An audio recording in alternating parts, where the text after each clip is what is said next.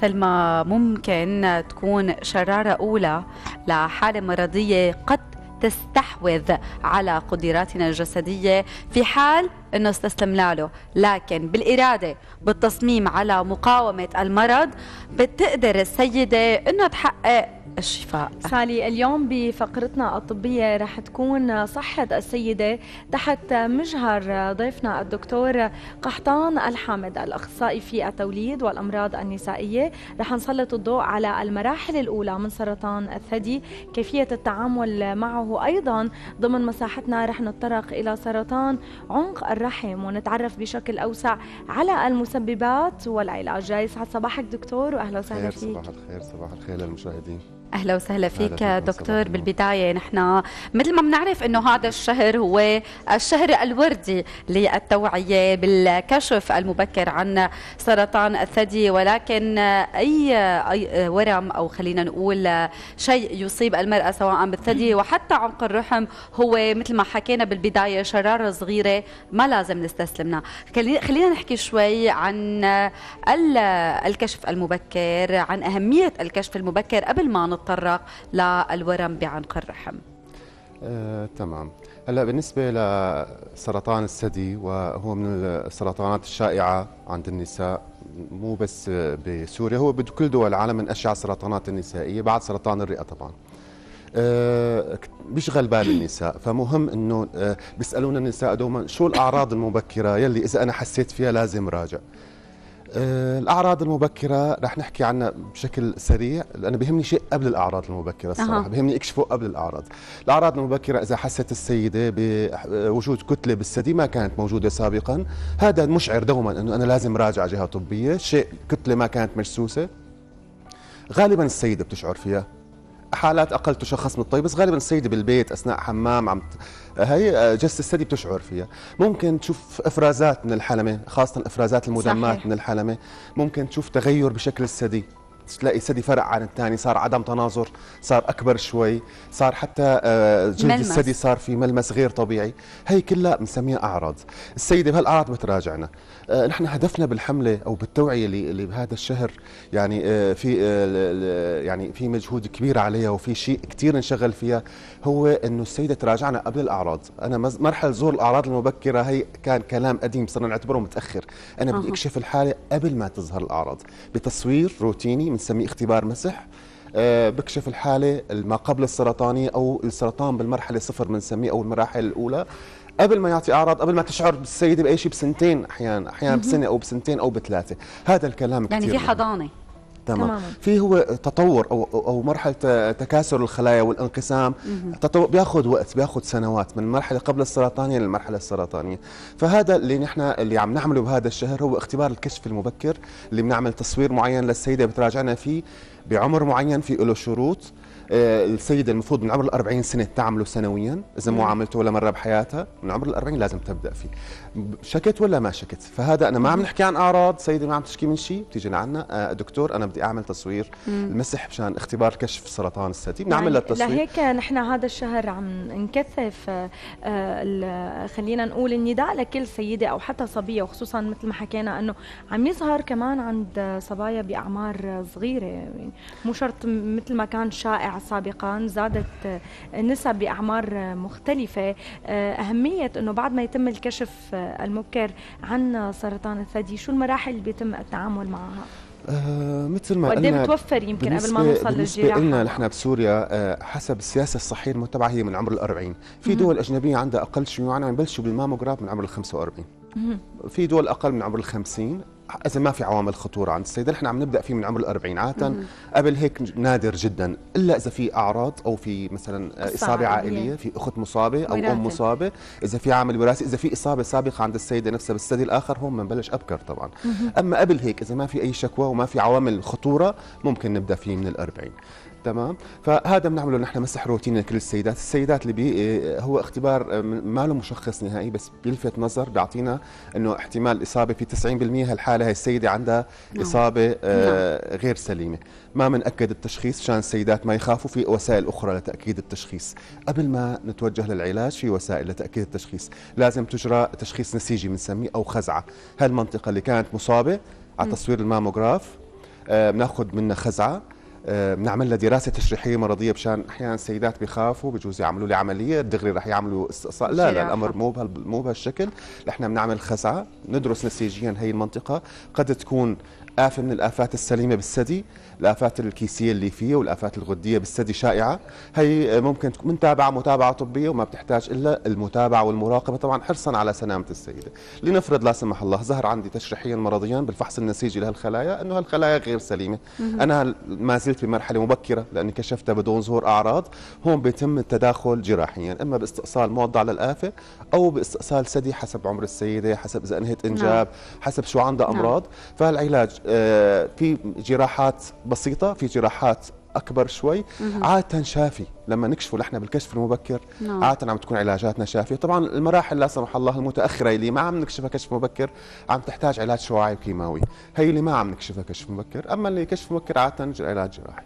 تماما. يعني دكتور يمكن حكينا عن المراحل عن أهمية الكشف المبكر آه، ويمكن ببداية حديثنا حكيت أنه آه، بالثدي ممكن تلاحظ ولكن خلينا ننتقل الاختصاص الثاني اللي حضرتك آه، مختص فيه هو إذا كان في ورم لا سمح الله بعنق الرحم هذا الشيء يمكن ما بيتم الكشف عنه غير بالفحص أو خلينا نقول بالإيكو. ممكن؟ لا له له كشف مبكر كيف؟ كمان. نحن من السرطانات اللي لها كشف مبكر هن الثدي الثدي وعنق الرحم. له اختبار مسح اللي بنسميه اللطاخة اللي بتعملها السيدة لعنق الرحم. في لطاخة بناخذ مسحة خلايا من عنق الرحم كيف بدها تحس إنه في شيء النسائي؟ هذا الكلام نفسه ينطبق على الثدي. أنا ما بدي انتظر السيدة لتحس. إذا السيدة بدها تنتظر حالها لتحس بمشكلة فنحن نوعا ما ضيعنا شوية وقت. هلأ أعراض سرطان عنق الرحم ممكن تشعر في السيدة بتشوف آه، كثير شائع دم بعد العلاقة الزوجية بنسميه نزف بعد الجماع. بتشوف بعض النزوف النسائية آه، بتشوف ألم أثناء العلاقة الجنسية. ممكن تشوف نوع من الانتانات أو التهابات المهبل يلي ما بتستجيب على العلاج. بتلاقي إفرازات مهبلية لها ريحة كريهة أو أو حكة. وعادة بتاخذ الكورس العلاجي الروتيني يوصف لها بتلاقي ما استجابت ترجع نكس عم ينكس بسرعة. هدول الأعراض. بس يفضل نحن ما ننتظر ظهور الأعراض. نكون نحن بمرحلة شوي تأخرنا نوعا ما. الكشف المبكر نعمل لطاخه للسيدة. مسحة من عنق الرحم.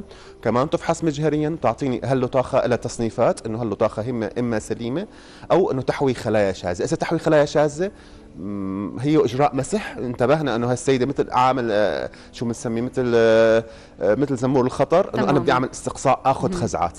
آه هذا اللطاخه تجرى روتينيا للسيدات المتزوجات من عمر ال 20 سنة. السيدة المتزوجة آه أبكر. أبكر من الثدي من عمر ال 20 سنة مم. تجرى. آه نجريها سنويا على ثلاث سنوات متتالية. لقينا أمورنا ثلاث سنوات سليمة بنصير كل سنتين أو ثلاثة نبعد الفواصل. بس لازم مثل ما قلنا نحن بننصح كل السيدات لا تنتظري ظهور أعراض لازم في اختبارات. الثدي وعنق الرحم لازم تجرى روتينيا. الدولة موفرتها بالمراكز والمشافي مجانية الخدمة. حرام إنه ما نستفيد. منه. طبعا. وكمان يعني خلال هذا الشهر آه، معروف إنه كل المشافي الحكومية أيضا فتحت خلينا نقول عيادات آه، لحتى يكون متواجد الفحص النكر لكل السيدات. بعض السيدات لهلا عندهم مخاوف من التصوير بيقولوا هل يا ترى الأشعة ممكن تأثر؟ هل هي ممكن تكون عامل بازدياد آه، السرطان بالثدي؟ مخاوف يمكن شوي خلينا نزيلها ونفسر هذا طبعا هن السيدات معهم حق. بهذا التخوف. هي هي الإجراءات المسح اللي موفرة هلأ بكل المراكز واللي عم نشجع عليها آه، آه، مدروسة سابقا مدروسة. نحن لما نقول أنا بدي أعمل mammograph للسيدة ال mammograph هو تصوير شعاعي. آه، مسحة لطاخه عنق الرحم هي ما فيها أي تعرض لأشعة وما في لها أي سلبيات. أما إجراء تصوير الثدي هو إجراء شعاعي. مشان هيك نحن ما قلنا رح نعمله من عمر ال20 سنويا. عشان هيك نحن مضبوط الفواصل تبعه؟ تأثير لا لا, لا. الاشعه بالجرعة اللي عم نعطيها؟ السيدة إلها؟ لا لا بالجرعة اللي عم نعطيها باختبار المسح اللي عم نعمله بهي الجرعة بهي الفواصل هو سليم تماما وما له أي آثار سلبية. مدروسه هي الفواصل اللي رح نعمل فيها تصوير ومن أي عمر رح نبدأ هذا الكلام مدروس. وجرعة الأشعة اللي عم تتعرض لها كثير بسيطة ما لها أي أثر مدروس إنه قديش رح تأخذ السيده خلال كل الفترة اللي رح تصور فيها خلال كل حياتها كم تصوير رح تاخذ وقديش الجرعة؟ سليمة تماما ومدروسة وما لها أي أثر. رح بس ألفت نظر السيدات لفكرة مهمة. هن عم يشوفوا هلأ بهالشهر البروشورات والبوسترات والإعلانات بالنت وبالتلفزيون وبالإذاعة نعم. عن تصوير الثدي. بس أنا حاب ألفت نظرهم لشغلة. لنفرض سيدة راجعتني بشهر 11 قالت لي أنا حابه أعمل كشف للثدي. بقول لها ما رح نعمل لك؟ أكيد لا. هو مفتوح على مدار السنة. تماما. هذا الشهر اللي حاملة هي للتوعية الخدمة مقدمة على مدار السنة. مو أنا عم بس هذا الشهر بالسنة بقول روحي تعالي شهر 10 القادم لا الخدمة مفتوحة. إيمتى ما أجت السيدة نفرض السيده عندها ظرف ما لحقت بشهر 10 تيجي. بعدين كانت متخوفة وقررت تيجي ايمتى ما إجت بنعمل لها التصوير نحن هذا الشهر الان لنشر الوعي عن هذا الموضوع مم. على مدار السنة وبالعكس على مدار السنة عم عم نشوف عدد حالات كبير عم نكشف حالات كثير وعم نشوفهم بشكل أهدى من فترة الشهر هذا اللي فيه ضغط شوي مم. يعني سلمى مثل ما حكى الدكتور إنه هو ما مقتصر على لا على شهر أكيد. معين وكثير مهم إنه السيدة تفحص نفسها. بس نحن بنكثف الحملة هو هذا شهر توعية. هو للتوعية. لنشر الوعي لنشر الفكرة إنه لازم تيجي تراجعينا لازم تعملي كشف. أما الخدمة مقدمتها الدولة على مدار السنة ومجانية. نعم. طيب كمان دكتور خلينا نحكي عن النسب وقديش بتخف نسب خلينا نقول وصول السيدة إلى مرحلة العلاج وهي أساسا بمرحلة متقدمة من سرطان الثدي لما بيكون في الكشف المبكر. الكشف المبكر معناته نحن بمرحلة مبكرة. لما نكون بكشف مبكر نحن بمرحله مبكرة. نسب الشفاء 95% على الأقل. إذا كان كشف مبكر قبل ظهور ما توصل لمرحلة كتلة أو لمرحلة انتقالات أو في شيء بنسميه آه، بيعمل آه، سرطان الثدي بالإصابة بانتقالات العقد اللمفاوية المجاورة والأنسجة المجاورة. قبل هي المرحله بالكشف المبكر نسبة الشفاء أكثر من 95% حسب حالة السيد. تمام؟ آه الشيء الدراسات العلمية الأخيرة بتقول إنه نسب السرطان بدول العالم ازدادت. سرطان الثدي ازدادت مؤخرا. بس نسب الوفيات قلت كثير بسبب الكشف المبكر بسبب العلاج المبكر. صح عندنا نسب أعلى شوي من السنوات القديمة بس الشفاء أحسن والإنذار أفضل والوفيات قلت كثير بسبب الكشف المبكر. فهون دور هذا الموضوع هون أهميته. نعم. يمكن حكينا نحن عن سرطان عنق الرحم كيف بتلاحظ السيدة. هل أيضا في مراحل بتمر فيها بتحتاج لإستئصال لعمل جراحي؟ شو هي المراحل الخطيرة يلي بتمر فيها؟ وقد نسبة الشفاء؟ خلينا نقول. طبعا مثل ما أنه هو يعتمد على المرحلة على الدرجة النسيجية للورم اللي تشخص لتشريح المرض وعلى المرحلة كل مرحلة لها إنذار مختلف. المراحل المبكره كمان بسرطان عنق الرحم. عم نكشف الشيء اسمه باللغة العربية بنسميه عسر التصنع بعنق الرحم. أو السي اي ان هذا مرحلة قبل السرطانيه هي بتاخذ عدة سنوات لتتطور السرطان. هي علاجها موضعي كافي إذا السيدة ترغب بالإنجاب إذا عمرها آه، صغير أو حاليا عم نشوف آه، سن الزواج صار متأخر فممكن تتزوج السيدة بعمرها 38 أو 39 وترغب بالإنجاب. هذا الشيء صحيح؟ إيه فما في مشكلة. بس إذا كان شفنا عصر تصنع بعنق الرحم بنعالجه موضعيا وحمينا وجود الرحم وحمينا لقدرته الإنجابية وطبعا نبقى على المتابعة أو متابعه الكشف تماما. الدائم.